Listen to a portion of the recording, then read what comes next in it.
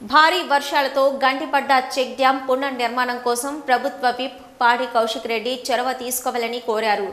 KDCC bank vice chairman Pingali Ramesh ఇటీవల కురిసిన భారీ వర్షాలకు జమ్మికుంట మండలం విలాసాగర్ చెక్ డ్యాంకు గండిపడింది. కల్వల ప్రాజెక్టు తెగడంతో వరద ఉధృతికి చెక్ డ్యాంకు గండిపడింది. విషయం తెలుసుకున్న KDCC vice chairman Pingali Ramesh check dam సందర్శించారు. ఈ సందర్భంగా పింగళి రమేష్ మాట్లాడుతూ కల్వల ప్రాజెక్టు తెగడం వల్ల వరద ఉధృతికి చెక్ డ్యాంకు గండి పడిందన్నారు. రైతుల కోసం రెండు వేల పదహారులో పదకొండు కోట్ల రూపాయల వ్యయంతో ప్రభుత్వం చెక్ డ్యాం నిర్మించిందన్నారు.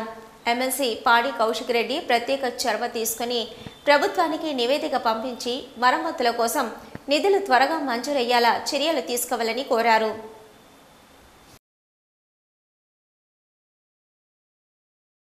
ప్రాజెక్టు తెగిపోవడానికి గల కారణం ఏంటంటే పైన ఉన్నటువంటి కల్వల ప్రాజెక్టు తెగిన తర్వాత దాని ప్రెషర్ దీని మీద పడి అదే పద్ధతిలో మానేరులో ఉన్నటువంటి మానేరు కరీంనగర్లో ఉన్నటువంటి డ్యామ్ గేట్లు ఒకేసారి తీయడం వల్ల కూడా ఈ ప్రెషర్ వచ్చి ఈ చెక్ డ్యామ్ పోవడం జరిగింది.